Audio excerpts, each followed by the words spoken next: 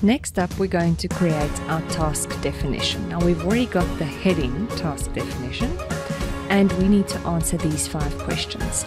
So, to make it easier, I'm actually going to copy all of this and just go and paste it in my document.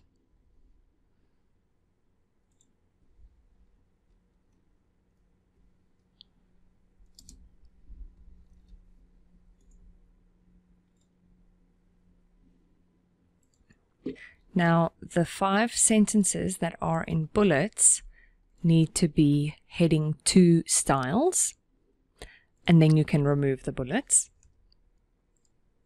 You have to because they aren't real bullets. And then these sentences, you cannot leave there. You have to actually answer these questions. This is just to help you answer the question. So let's go through them one by one. All right, so you need to keep the topic in mind. And this year's topic is an online activity. But I'm going to say, for an example, my topic is gardening.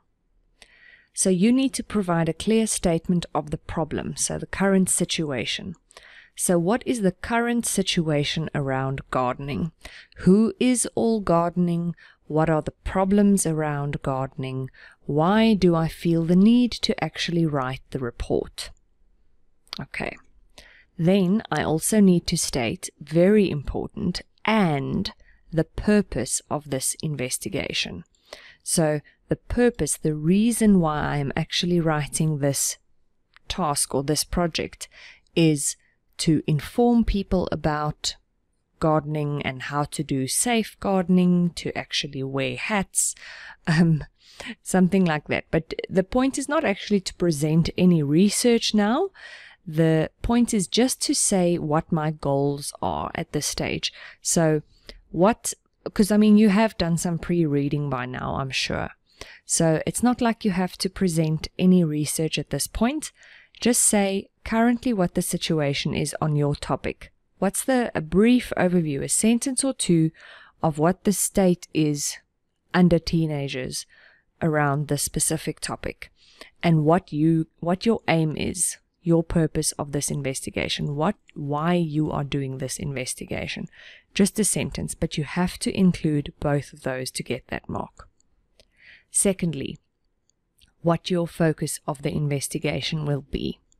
Now if you're using my suggestion then you can refer basically to these three headings. But please use different kinds of headings.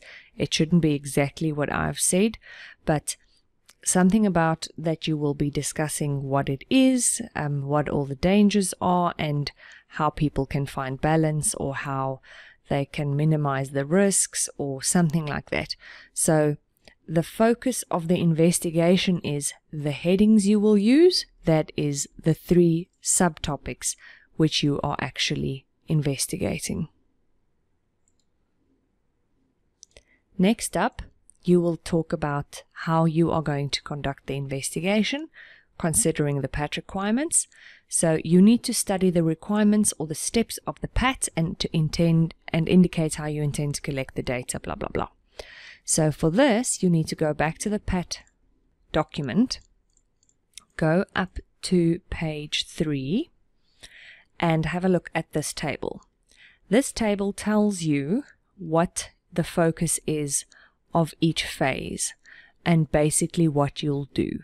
So use this table to get the answer.